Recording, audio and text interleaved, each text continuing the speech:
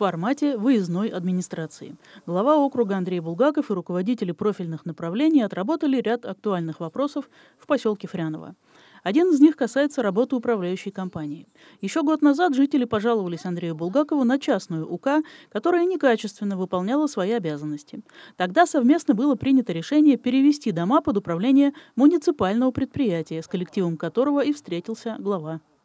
Мы этот процесс запустили, сейчас идет голосование на домах и хотим э, уже за лето все оставшиеся дома в поселении полностью во Фряново передать и обслуживал, чтобы это МУК.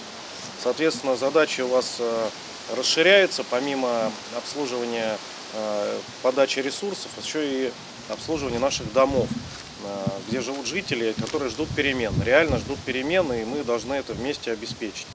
Андрей Булгаков высказал надежду на взаимопонимание сотрудников жилищно-коммунального предприятия с новым директором Александром Журавлевым и единение в коллективе.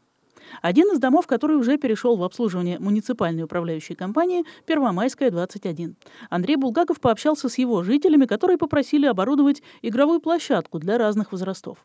Игровые элементы есть, но они разрозненные и многие требуют обновления. Одно нормальное, но чтобы затрагивало несколько возрастных категорий. От э, полтора до трех. От трех, потому что у нас очень много многодетных семей, вот посмотрите. И дети разных возрастов. Вот я гуляю с маленькой, которой два года. Есть у меня детки, которые 7 лет, 12 лет. Вот хотелось бы, чтобы все, ну, рядышком, я их видела, чтобы с ними ничего не произошло. Глава пообещал, что в этом году площадка будет. Также оборудуют дополнительные парковочные места, освещение и камеры видеонаблюдения. Выездное совещание продолжилось во втором корпусе школы номер 25. Этим летом здесь запланирован ремонт фасада здания и замена асфальтового покрытия двора. Дети 1 сентября придут и уже увидят красиво обновленную школу. Вам огромное спасибо за то, что вы помогли нам такую вот работу провернуть сами бы не смогли.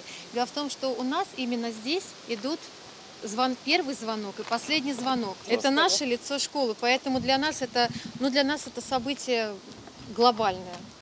Зданию этой школы 47 лет, и оно требует вложений не только снаружи, но и внутри. Директор обратилась с просьбой о ремонте отопительной системы. Вопрос взяли на контроль. Отдельное внимание в ходе выезда во Фряново было уделено спортивно-физкультурной инфраструктуре.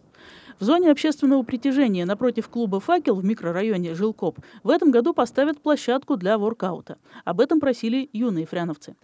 Рукоходы, здесь будет все, в общем, наполнено э, тем, что нужно для силовой гимнастики, для воркаута. Поэтому по вашему поручению здесь это появится до 1 сентября. Больших работ требует и фряновский стадион «Труд». Благоустройство на нем практически отсутствует, за что фряновцам, по их словам, неловко перед гостями. Вопрос будет рассмотрен предметно, а начнут с приведения в порядок поля и беговой дорожки вокруг него. Ирина Микеда, Сергей Максимов, Щелковское телевидение.